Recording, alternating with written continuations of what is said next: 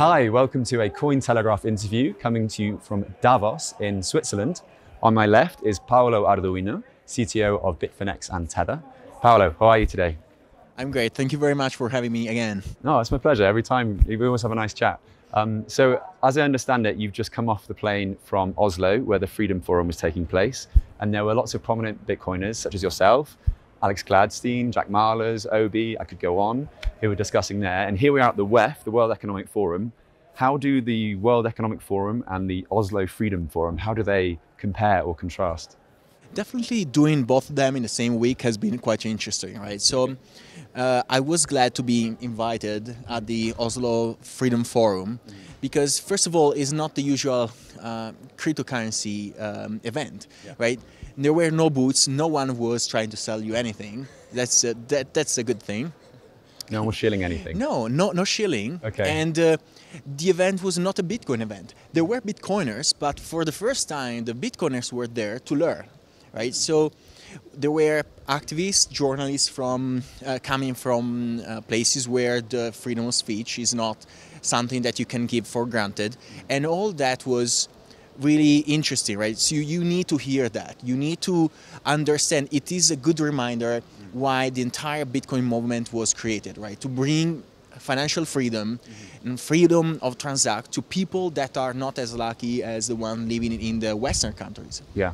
And uh, the fact that Tether was invited to talk was for me really important, right? Tether has been adopted by um, uh, the NUG, that is uh, the parallel government in Myanmar, the one that is in exile, that is fighting for the freedom of the country, as legal tender. Tether has been um, accepted by the Ukrainian government at the start of the war to accept funding. Yeah. Right, it was one of the three currencies: Bitcoin, Ether, and uh, Tether. Mm-hmm. So and it was also the fastest, right? In terms of getting the money into the country, cryptocurrency or Bitcoin and Tether was the fastest way to do so, right? Exactly. So for we are seeing Tether more and more being used as an instrument of freedom. Mm-hmm. So our actual uh, use case to exist, the reason to exist for Tether is it started from being a currency and stable coin used for settling crypto transactions, okay. but it grew a lot recently in being one of the tools to be used by distressed countries where the national currency is devaluating, where people want an edge against the insane inflation that they have, right? In Turkey, the national currency, the Turkish lira, has been devaluated 50% over the last few months. And um, in Argentina, you have the same problem and so on and so forth. So, and Venezuela, it, uh, the same thing. So, we we are seeing Tether reaching its um, apex in something that uh, in being something that people need for their day-to-day life yeah. to protect themselves, to protect their savings. Bitcoin is great, but they want the price stability. They want the long-term price stability. They, they understand, right? Bitcoin is great for many things, but is not yet understood by many. Could you say that Tether is almost like a gateway drug to Bitcoin? in this context? Is is definitely the best on ramp ever created. So okay. is is it's the best orange pilling tool. Yes, it. My father, right, understands much more. Um, so he now is in Bitcoin, but he had first to feel the digital cash, right? And crazy enough, people are all money the majority of the money is already digital. But they're not used to have it in a wallet that can you know with one click they can send around and is super fast and arrive in a minute right? They're used to a wire that takes days to clear.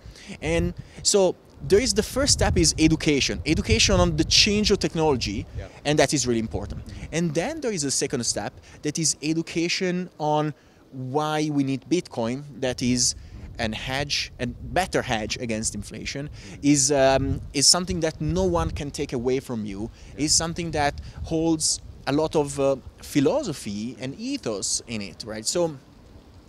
Yes, is orange pilling. But there you're talking about developing countries, and here we are in one of the most developed, one of these, one of the most free countries around the world, and yet it's also the city in the southwest called Lugano, um, where the Plan B project is. They're adopting Bitcoin and Tether as de facto legal tender. Yeah. Um, I was speaking to Mauro, who had a pizzeria here on a Bitcoin Pizza Day on Sunday.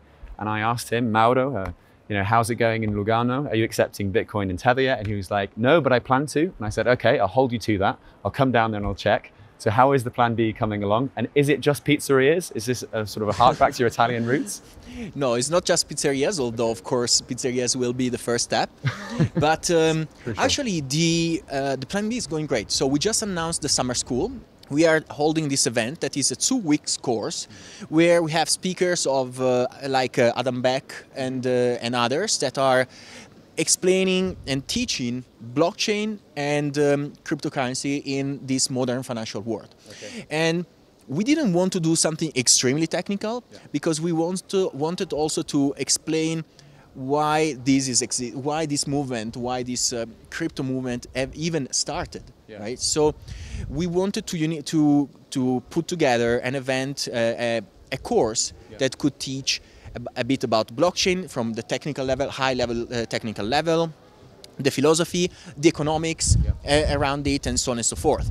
And then, of course, entering a little bit into the details, there is a Lightning uh, Network teaching on how to use nodes, and to set up things, and how to use it for payments, and so on and so forth. Is El Salvador listening out for these conversations? Thinking, oh, maybe we could implement that education in El Salvador. Actually, so we are working with El Zonte Capital to ah, okay. um, to trying to bring these very same courses, well, maybe in a different way, um, uh, based on the you know on the um, type of approach that we are going there. So we want to have so one side you have need developers in the country. On the other side, you need people that use it for the their day activity. So you have to teach a little bit of economics, mm-hmm. a little bit of background on, on, what we are doing, why we are doing it. So. Okay.